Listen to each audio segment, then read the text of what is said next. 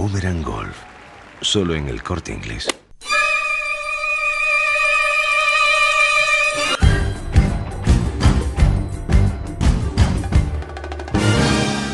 Bueno, Marina, vamos a practicar un poco de pad. Pero vamos a practicarlo con dos juegos, dos juegos que te van a ayudar. Aparte que te lo hace más divertido, más ameno, pero te va a ayudar a mejorar sobre todo la sensación del pad. Muchas veces el problema del pad consiste en que la mecánica bloquea un poco esa sensación de sentir al palo, de utilizar al palo. Para eso vamos a hacer un primer ejercicio que consiste en columpiar al brazo columpiar solo al brazo derecho. Te vas a colocar más erguida, el brazo no se dobla tanto, casi con el brazo recto.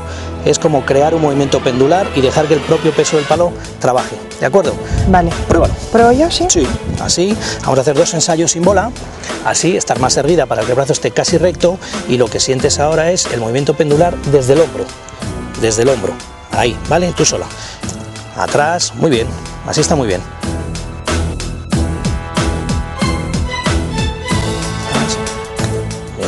Está bien. Ahí te has ayudado un poquito más.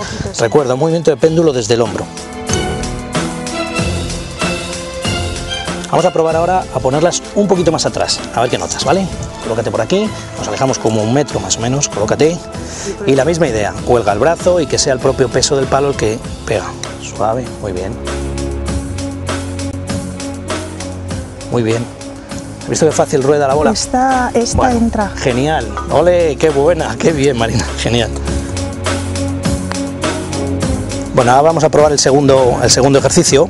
Con la misma idea de aprender a sentir, no tanto ahora la mecánica, sino aprender a sentir la intensidad, el balanceo, lo que vamos a hacer ahora es que tú vas a patear. Sí. Yo pondré las manos así, tú me vas a decir si está cerca, lejos. Ha ido cortita, muy bien, lejos. Se ha aproximado bastante al, A ver. al agujero. Un poquito corta. ¿Qué tal esa? Está mejor, Sí, más mejor. cerca del hoyo. Sí, menudo pepinazo la pegado. Vale, más flojitos. Quieta. ¿Qué tal? Lejos, cerca, bien de fuerza. Un poco corta. No estaba mal de fuerza. Bueno, ¿ves la idea? Lo que estás haciendo es sentir no solo la mecánica, sino lo que te transmite el palo. Si es buena la intensidad con la que has movido el palo, si has dado demasiado fuerte, si no. Son ejercicios, el primero y este, para aprender a sentir, para que no se quede el movimiento solo en mecánica. De acuerdo. Vale. Vale, bueno, pues Jaime. ahora te queda practicar mucho. Vale, muchas gracias. Marina, suerte. Gracias, Jaime. Hasta luego. Hasta luego. Ay.